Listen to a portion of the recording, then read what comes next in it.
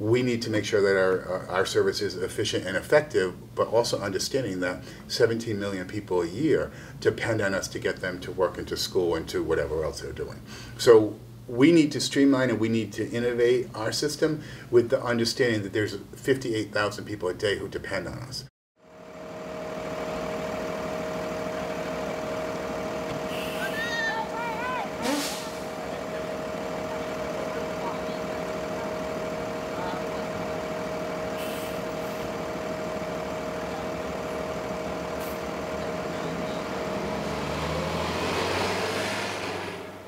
How do we integrate Uber, Lyft, the, the scooters, the bikes?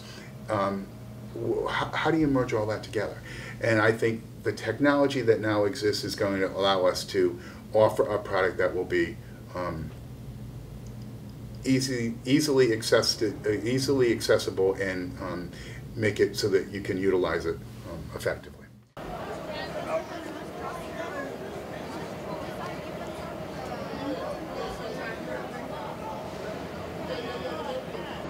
In the past, they sometimes they've even been behind schedule. And because of that, that kind of sometimes I end up leaving and then find out, oh, there's a bus coming and I can't run like I used to.